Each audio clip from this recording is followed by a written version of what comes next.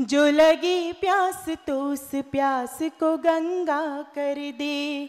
दुश्मनों के दिलों में खौफ से दंगा कर दे। दुश्मनों के दिलों में खौफ से दंगा कर दे। ऐ मेरे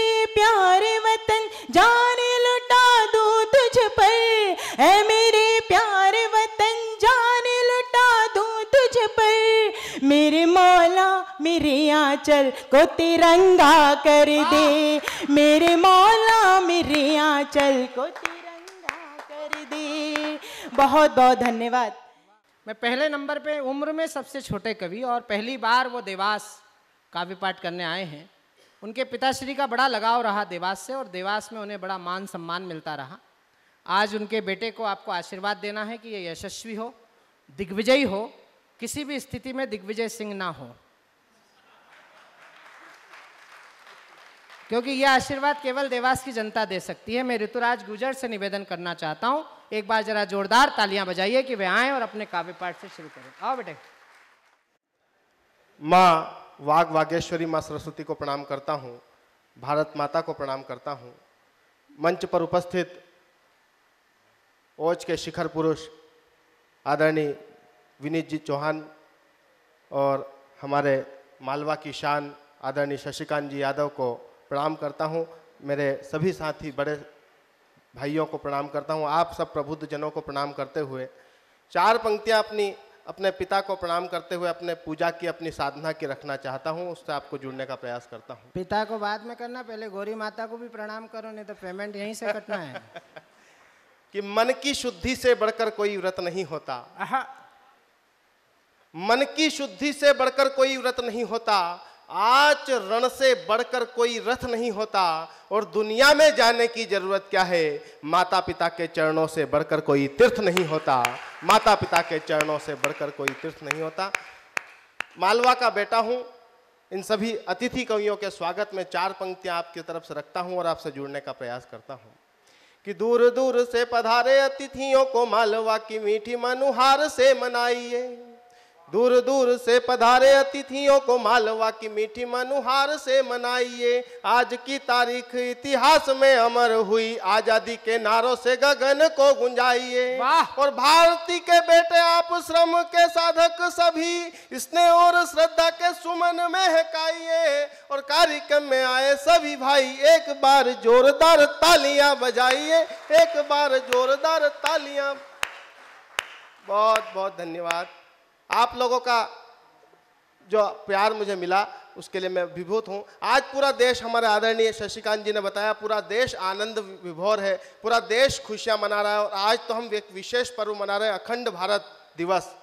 तब जो एक देश भक्त कवि जो महसूस करता है, वो आपके बीच रखना चाहता हूँ। हमारे बीच में ओज के और सबसे सशस्त्र हस्ताक्षर आज हमारे बीच में है विनीत जी चौहान जो क्रोध की भाषा बोलते हैं जो आक्रोश की भाषा बोलते हैं। लेकिन एक कवि एक मालवा के बेटे में क्या आक्रोश है वो आपके बीच रखना चाहता हूँ। कसम काली की खा के कलम उठेगी जब कब टी कुचालियों के नाम छाट लेंगे हम और खा के हिंद का नमक 370 की पैरवी करे।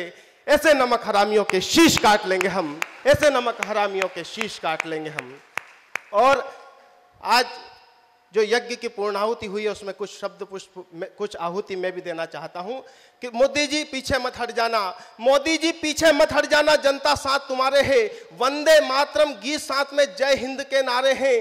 जो गद्दारी करे वतन से, ऐसी जीव उखाड़ दो और अमर तिरंगा उग्रवाद के सीने पर अब गाड़ दो। अमर तिरंगा उग्रवाद के सीने पर अब गाड़ दो। तो केसर की क्यारी में, केसर की क्यारी में आतंक नहीं पलने पावे और सैनिक पर फिर पत्थरबाज का हाथ नहीं उठने पावे। सैनिक पर फिर पत्थरबाज का हाथ नहीं उठने पावे। तो अब क्या किया और क्या करना है? कश्मीरी पंडितों को उनका अधिकार दिलाया है तुमने। कश्मीरी पंडितों को उनका अधिकार दिलाया है तुमने धारा 370 का भी शाप मिटाया है तुमने। धारा 370 का भी शाप मिटाया है तुमने तो अब अब घाटी को उग्रवाद से मुक्त करना है तुमको अब घाटी को उग्रवाद से मुक्त करना है तुमको और भारत के और भारत के नक्शे में पूरा कश्मीर जोड़ना है तुमको और भारत के नक्शे में पूरा कश्मीर जोड़ना है तुमको लेकिन इस पर जो उछल कूद मचा रहे हैं जो लोग हिंदू मुसलमान की बात करके जो लोग जात पात की बात करके जो लोग कश्मीरियत की बात करके हमारे युवाओं को भड़काना चाहते हैं उनसे चार पंक्तियाँ कहना चाहता हूँ। अपने पिता ने जो मुझे संस्कार संस्कार दिए वो संस्कार आपके बीच रखना चाहता हूँ। स्वागत बेटे। कि हिंदू व मुसलमान सिख व ईसाई भाई पंथ की संकीर्णता को तोड़ आगे आइए। वाह। हिंदू व मुसलमान सिख व ईसाई भाई पंथ की संकीर्णता को तोड़ आगे आइए। जननी व जन्मभूमि स्वर्ग से महान होती एक साथ मिल वंदे मातरम गाइए।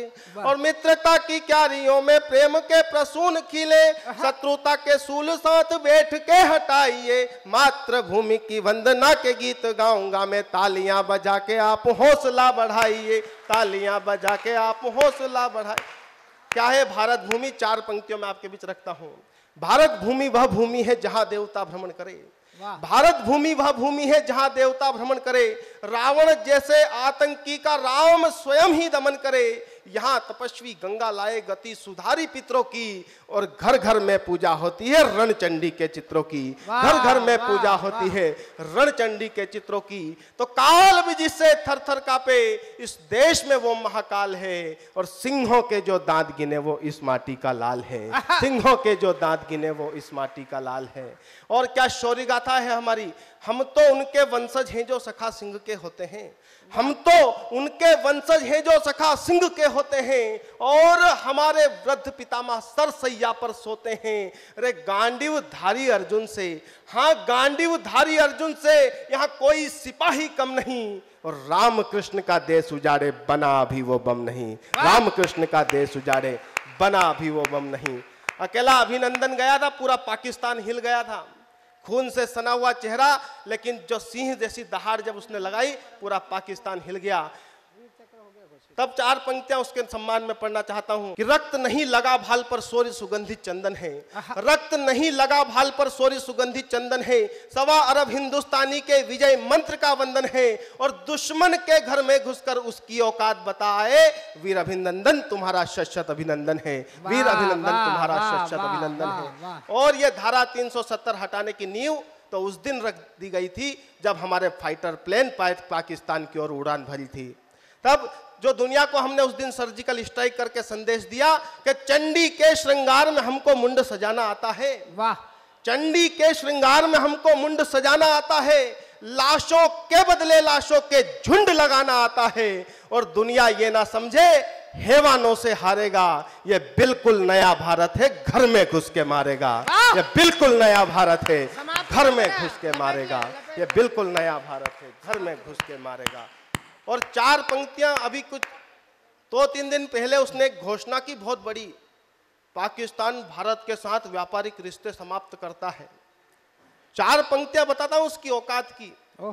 कि चोरी चोरी घुस आना चोरी चोरी घुस आना मुँह की खा के भाग जाना कैसी संस्कृति है तेरी कैसे संस्कार हैं? वो बार बार घुसता है सिंह की गुफा के मुख काहे भूल जाता कि तू मामूली शियार है। और चवन्नी चुकाने की तो क्षमता नहीं है तेरी। लोगों से ले लेता काहे? लाखों का उधार है। कैसे तेरे बम और कैसी तेरी मिसाइलें? तू घुटनों के बल भागा तीन तीन बार है। घुटनों के बल भागा तीन तीन बार है। घुटनों के बल भागा तीन तीन। और जब तक बकरुद्दीन ओवैसी कोई भाषण नहीं देता, जब तक जब तक कुछ उटपटांग नहीं बोलता देश के बारे में, जब तक उसको पेट में रोटी हजम नहीं होती, तब चार पंक्तियाँ उसको देना चाहता हूँ। देश के गद्दार जो भी देश में ही पल रहे, इनके देशद्रोही रक्त को निचोड़ देना चाहिए। अपनी ही जननी की आन पे जो उठती हो, ऐसी शर्महीन आँखें फोड़ देना चाहिए। तो एकता को खतरा हो जिनके जहर से भी, ऐसे जहरीले दांत तोड़ देना चाहिए। और भारत माता की जय बोल नहीं सके। ऐसे काय रोको हिंदुस्तान छोड़ देना चाहिए। ऐसे काय को